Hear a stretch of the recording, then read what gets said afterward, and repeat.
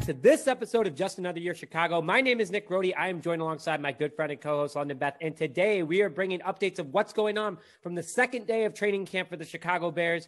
Bit, another big day for Justin Fields continues to shine. Andy Dalton is looking like a true mentor that we signed him up to be, kind of like what we talked about in our last episode, and he's looking pretty damn good too.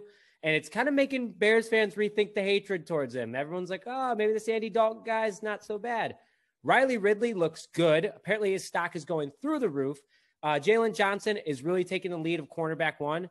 And Darnell Mooney, as London was telling me before the podcast, is literally breaking ankles. We not literally, I mean, literally, London. you said he's breaking Jaylon Johnson's ankles. So, uh, uh, you know, it's it's getting weird. It's getting crazy. And also, Akiem Hicks wasn't there today. We'll get into that though. Nothing serious, but more to come on that. But before we begin, we'd like to thank our sponsor, Stupid Car Tray. Tired of your pizza topping sliding, office coffee distracting you while driving, grease and other stains getting on your seat, or you're just enjoying a game on the couch and don't want to lean over? Look no further than the Stupid Car Tray. Proudly USA made, Stupid Car Tray makes your passenger seat or couch a level surface for all transportation and couch potato needs. With accessories like the Stupid Seat Anchor, hand sanitizer bottle, or 100% silicone grip mat, your tray is the ultimate car organizer. With over 20 different color combinations, there's a stupid car tray for everyone. Visit www.stupidcartray.com and use discount code J16 to get 16% off your entire order. Link in the description. If you're stupid and love pizza like me, get a stupid car tray today. Duh. So Nick, let's let's get into this a little bit. Uh, you know, how much hype has been around, you know, Justin Fields the past couple months since the draft in Chicago? A ton right? Am I correct here? Just an absolute ton. Um, and I think the best thing that has happened to him and something that I want to hit on first um, is, you know, the first couple, the first day or two of uh, training camp, he was really brought back down to reality. Okay. Um, but today's the new day. Okay. He struggled a little bit uh, the first day. Uh, you know, he just made some mistimed things and did exactly what a rookie should do. But today, Andy Dalton and Justin Fields got to duel it out in a seven on seven, uh, per our inside sources who are at camp. And it has been said that Justin Fields came out with a vengeance today um, after struggling and is looking good, hitting deep passes to wide receivers, linking up with wide receiver, linking up with numerous wide receivers like we just spoke about, Darnell Mooney. And the biggest, most interesting part is his freshman year, him and Riley Ridley uh, were at Georgia together, and Justin Fields' first touchdown in college was to Riley Ridley. His first touchdown in training camp to Riley Ridley again. How I mean, ironic. I mean, we talked about Riley Ridley a lot, and I know his stock is really up right now. And we said he was kind of a in between guy. Really, you know, he had a big body and had some potential, but really just was kind of not doing it. Maybe the comfortability he has and the history he has with Justin Fields, and now Justin Fields coming out with that vengeance today after struggling. Uh, maybe you know, like we said, maybe we'll see something out of Riley Ridley. Uh, but Nick, before I get kind of what you feel about, you know, Justin Fields struggles, but then kind of coming out in a vengeance, you know, and all that kind of different stuff. I think this is kind of good for Justin Fields. Okay. Yeah, absolutely. I mean, I think it is. I think it is. I think that him coming out and struggling and then Matt Nagy giving him the opportunity the next day to have a competitive duel against Andy Dalton is good for him. I've heard from numerous sources, in, including Deshaun, the likes of Deshaun Watson, this guy is an ultra competitive human being. And I think that's a good thing. We have to understand Andy Dalton is a 10, a 10, 11 year, 10 plus year, 11 year player in the NFL. He knows what he's doing. He knows how training camp works and he knows how to be a starting quarterback in this. Okay. And the best part about this is it's giving Justin Fields time to develop. It's giving him time to see what Andy Dalton is doing, how he commands the offense, how he speaks to people like David Montgomery, which we'll get into in a little bit. And it's just, it's very, very powerful and something I'm super excited about. So, Nick, what do you think about it? His struggles, you know, kind of go, coming with a vengeance the next day. What are you feeling about it? Let him struggle. That's what we want. That's what we want to see. You don't, you don't you don't get a perfect quarterback out of college. Guess who else struggled? Brett Favre. Guess who else struggled? Tom Brady. Guess who else struggled? Peyton Manning. They all struggled. Let them struggle. That's how you're going to become a better quarterback. If he's already this good now and he's toe to toe with Andy Dalton and Andy Dalton has just a little bit of an edge, imagine how good Justin Fields is going to be in the next two years. Just imagine how good he's going to be after training camp, after preseason, getting real NFL reps let the man struggle, let him learn, let him let a fire within himself and be like, I want to be better. We all know that this guy wants to be better. He has lived at Halas Hall since he's gotten to Chicago. And it's just, you know, I think they have a cot in the back for him at this at this point. Like obviously a king size cot, probably, you know, whatever one of those beds that like folds out of the wall. Like that's Justin Fields and a bench is in front of it. So like he just gets to work. So I'm totally fine with it. And I really like the role that Andy Dalton is playing. I know we're gonna hit on that in a minute. But man, just I just you know I'm happy for the guy. I'm happy to watch him struggle, but because it, it's not it's not horrible struggling. It's little baby steps, and that's exactly what he's going to have to do in order to become a legitimate NFL quarterback. Yeah, and speaking of Andy Dalton, and I know you just hit on that, and I know you've been more of a optimistic about Andy Dalton coming into the Chicago Bears. So why don't you hit on a little bit just how he's been looking, some different things that we've heard about? Because again, you were the more Andy Dalton guy. I was really out when we first got him, and it kind of I'm eating my words a little bit now. Sorry, wait. I, I, think I got you. I think I got you. Yeah, a- Andy Dalton, man, he's he's the veteran that we needed. That's it's just what the Chicago Bears have been looking for. Jay Cutler was not a veteran when we brought him in. Just straight up, he was a young guy. He looked really good in Denver, and Jay Cutler was a good quarterback for the Chicago Bears. Average quarterback in the NFL. Did have his shining moments, but again, the teams that were put around him, you can make arguments for it. But Andy Dalton is a proven quarterback in the NFL, in my opinion. Yes, he doesn't have the greatest regular season record. Yes, he has never won a playoff game. But guess what? The man knows how to throw touchdowns. When was the last time the Bears quarterback threw 4,000 yards? I'm sorry, that's never happened before. Andy Dalton's done it a few times. Also, his touchdown to interception ratio is much better than anyone. I mean, he has Hall of Fame stats, in my opinion. Almost 40,000 passing yards. London, have you thrown for 40,000 passing yards in your career? No. Unfortunately not. Angels throw for probably more yards than you and I put together. Like all I'm saying is that like he has done a fantastic job coming into the Chicago Bears and understanding his role. In a recent interview yesterday, and this was on Twitter uh, from Daniel Greenberg, is that he talked about he's here to win, but he's also here to make Justin Fields the future of the Chicago Bears. He knows it's a one year deal. And who knows? Andy Dalton could be like, eh, you know what? $10 million. I'm I've already gotten my millions before. Probably he's probably made over 50 million, 60 million in his NFL career. I don't know the contract off the top of my head, but Andy Dalton can retire today if he really wants to, kind of like Jake Butt did yesterday. but um, like I, I'm dead serious. I think that like he he he knows his role and he's looking very sharp at camp, much better than a lot of Bears fans predicted. I mean, the red rifle is pretty darn accurate right now. I, I, think he's locked, loaded, ready to go. And he is showing also that he knows he's the starter right now. He is the best option for the Chicago Bears entering the LA Rams game. You know, he's working very well with Allen Robinson, which that's huge. Not saying that Justin Fields isn't, but Andy Dalton is as well. Darnell Mooney, you know, ripping it up. guess who he's catching passes from? Andy Dalton, both of them, but he's also getting them from Andy Dalton. And then David Montgomery, that's huge. When you have a good relationship with your running back, especially in today's NFL, you gotta you gotta respect it. You know, you gotta respect it. I think he's doing a great job. I know a lot of people are eating their words right now, but mm-hmm. you you gotta look past like emotion took over when we signed Andy Dalton for so many people. And you just gotta understand the the it's bright. He's not the answer, but it's much brighter than it was for the Chicago Bears.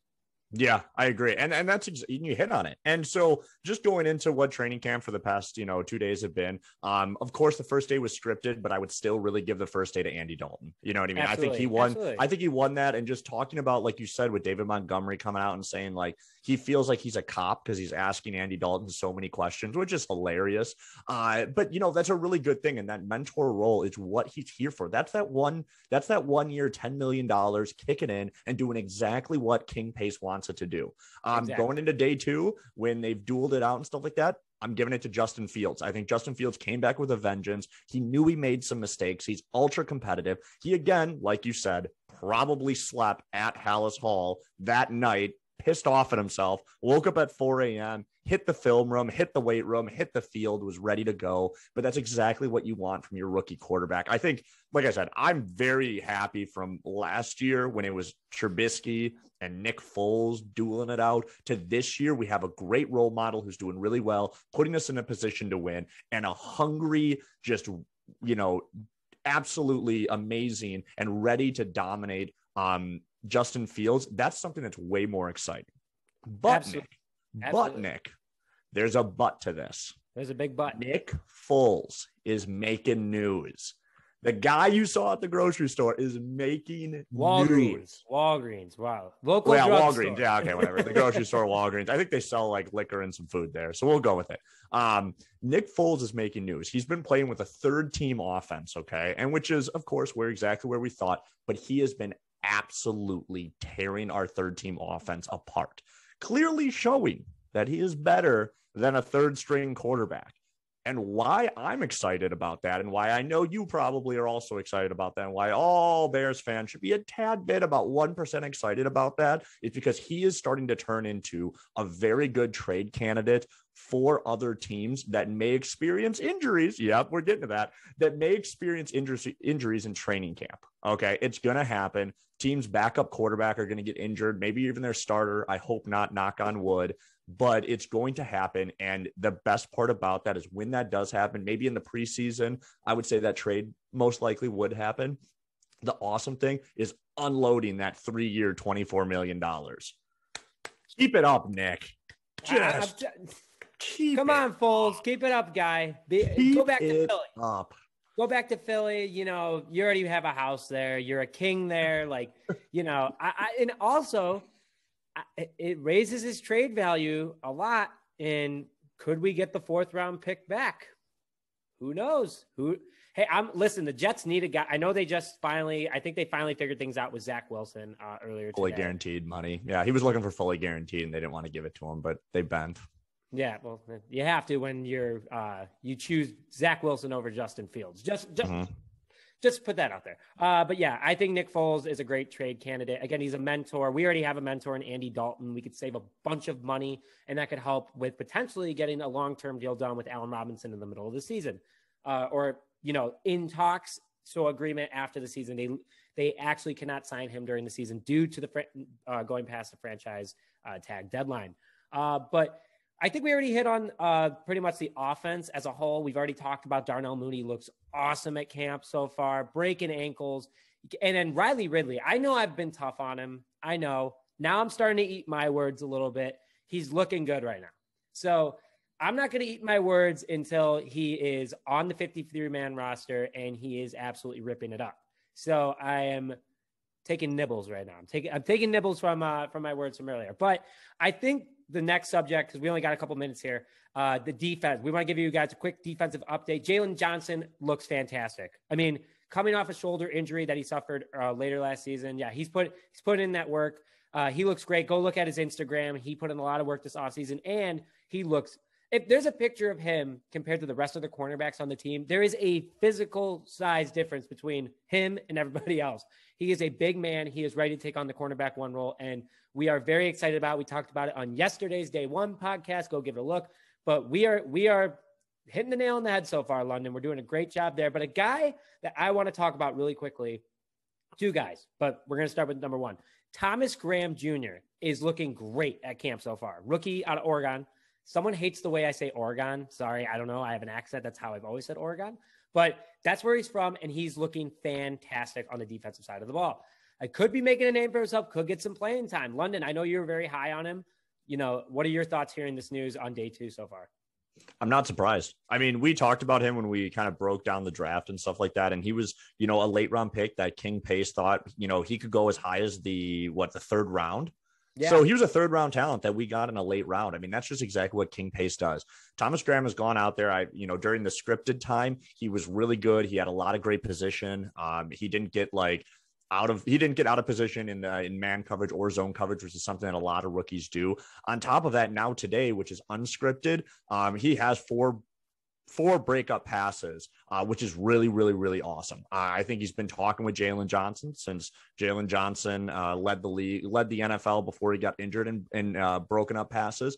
And Thomas Graham is kind of doing the same. I think he again knows that that door is open and he's trying to get himself some playing time on this 53 man roster. Kudos to him. He heard me. He heard me because I said he, something to him. Does he remind you of Tim Jennings a little bit? Oh, bad. He's nasty. A little bit. The he's way nasty. He he's yeah, like he's a nasty guy. Yeah, like he's he's he's just like he's a dog, and I love that about him. And I hope he really gets out there and absolutely fights for that position. A guy that does remind us of Tim Jennings, though, not just because of the dreadlocks, but because of you know his style of play. Kindle Vildor, man, mm-hmm. he he's ripping it up. And Ryan Pace talked about him again today. He was just like, man, he looks good in camp. He thinks he has a legitimate shot at starting, and that's a good thing because I don't. I again, we should have done our research before this, but does Trufant can he? Is that dead money if we drop him, or do we get that cap back?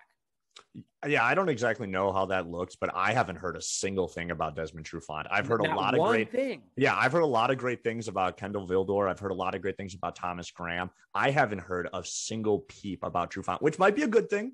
No news is good news, but at the same time, uh, you know, him being a veteran I, and being a new guy on this team and having to rebound from the Detroit Lions, I expected to hear something. And yeah. I just don't hear a word. Like I haven't heard anything from training camp about him.